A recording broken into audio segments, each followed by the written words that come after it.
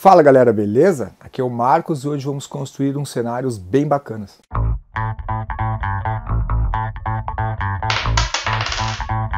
Esse dia eu estava pensando, como deixar o cenário mais dinâmico durante a gravação? É, como conseguir apresentar essa mudança no tempo e no clima para os jogadores, ou mesmo para dar um, um efeito visual legal?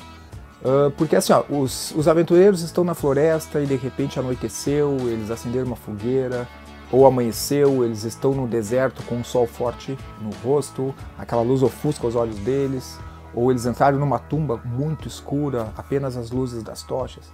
Será que tem alguma forma de tu conseguir passar isso para os jogadores no cenário, no grid, nas miniaturas, além da narrativa?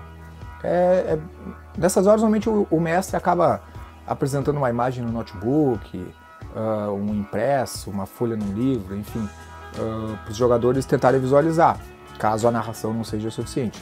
Mas eu estava procurando coisas de como deixar isso mais legal. E eu pensei em lâmpadazinhas RGB. Eu comprei uma. E a gente pode testar se funciona uma luz RGB para fazer as, as vezes de sol, de lua, de noite, de escuridão. Vamos ver como é que fica? Vou construir alguns cenários e umas narrativas usando as miniaturas da Kimera. E aí no comentário vocês me dão a opinião de vocês, se ficou legal ou não, se vale a pena fazer esse incremento na hora de montar o cenário.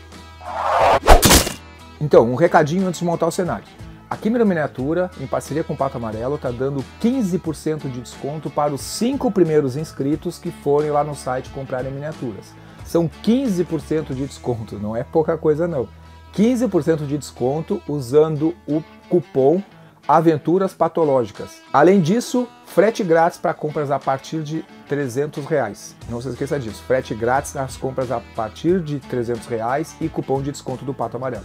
Corre lá no site da Kimeron, kimeronminiaturas.com.br e garanta suas miniaturas.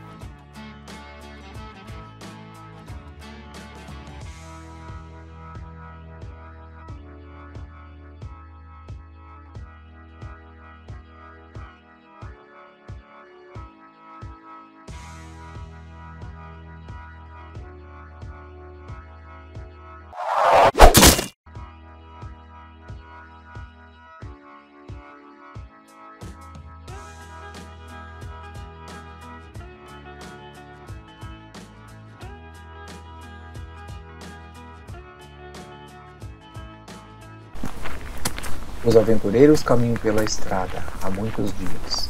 Passos lentos e pesados, gargantas secas. O sol faz os olhos arderem. A armadura queima.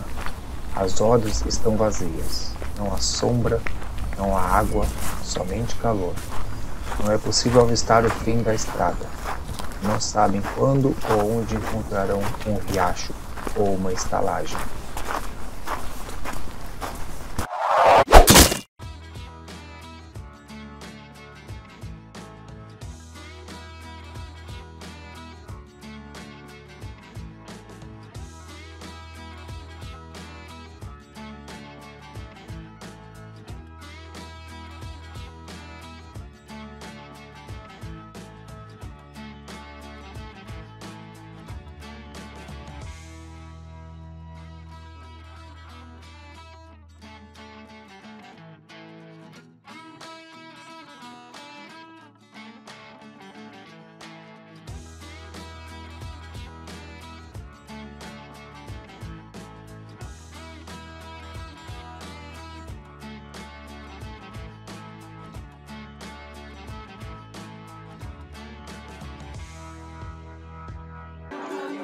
Finalmente uma estalagem, água e cerveja gelada, vinho dos portos élficos, pão, queijo e carne.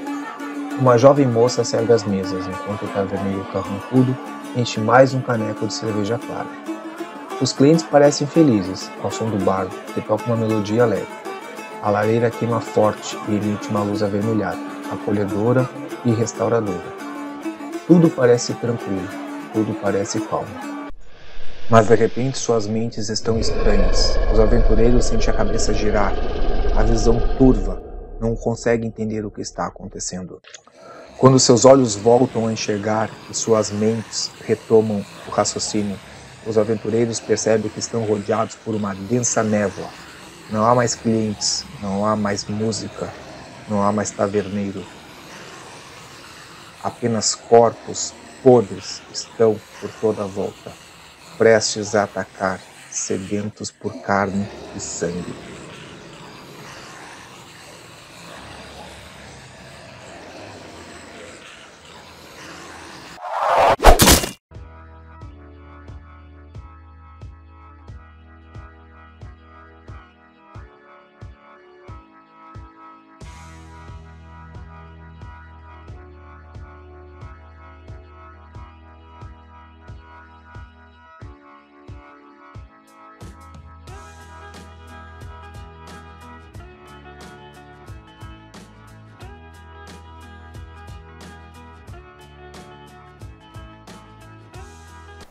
Os aventureiros agora estão na floresta. Já é entardecer. O sol vai lentamente se pondo e dando lugar à lua prateada. Ao redor da fogueira fazem uma refeição, se aquecem um pouco e se preparam para dormir. Quem fará a primeira vigia? Quem ficará atento aos ruídos da noite? Animais correm por entre as flores. Corujas piam nos troncos das árvores. Tudo parece muito perigoso. Tudo parece estranhamente calmo.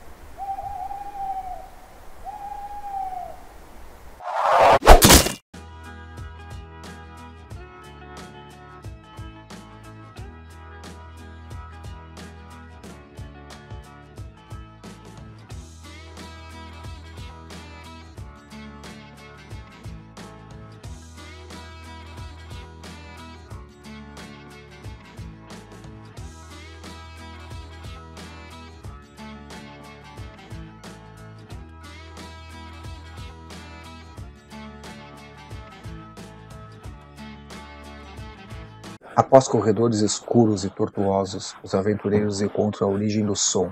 Ao abrir um grande portão, percebem um necromante conjurando em uma língua estranha. Kirk fica receoso. O elfo Anatur tenta decifrar o som, mas Flapo, o ladino, fica encantado com os tesouros. Mas de repente o sarcófago começa a se abrir.